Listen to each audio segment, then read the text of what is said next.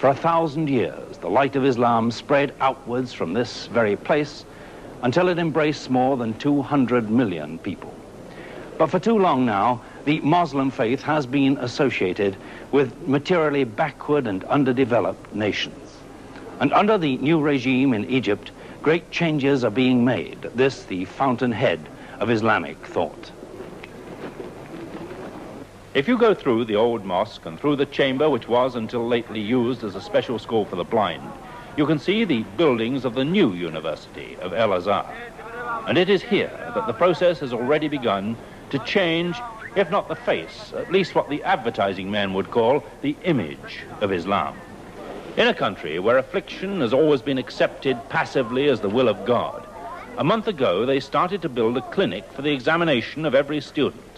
They started it on a fund amounting to just £1,500. And they're building laboratories out of packing cases and disused lavatories. So they're testing eyesight with glasses at giveaway prices. They've discovered that nearly 40% of all the students need glasses. Dental treatment, free of charge, has already begun. And new faculties are being started, many of them, which do not specialize in religion at all. Already a Department of Business and Administration has been formed. It has now 520 students.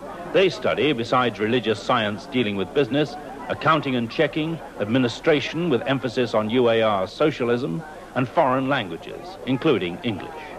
Well, gentlemen, we are going to do this exercise orally.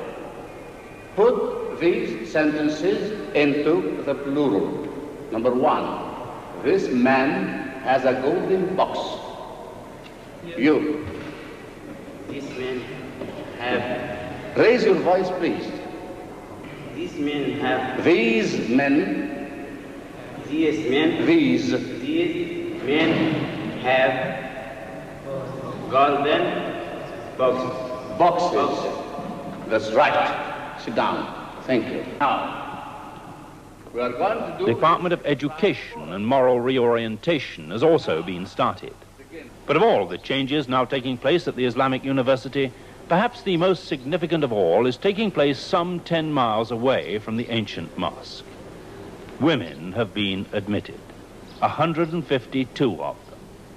They study business and administration, Islamic studies, social studies, and languages. Certainly, no class privileged by religious training will be allowed to use the Muslim faith to hold up the progress of Nasser's new Egypt.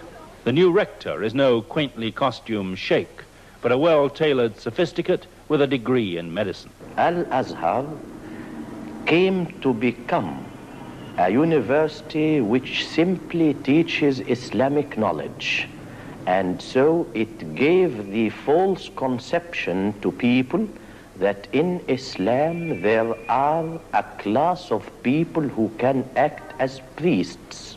And that is not true.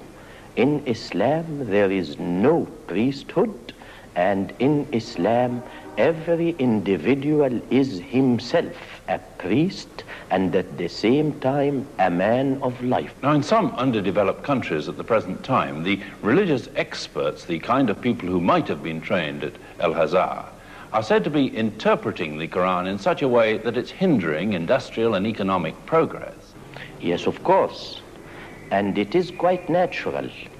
If such a class of priests arises, then it would be quite natural that they will stop in the way of any progress so that they will keep some power in their hand, which is not in Islam at all. Had this happened actually in Egypt also, as well as elsewhere? Definitely it has. But will you not be charged that religion is being made to serve the state rather than the state serve religion?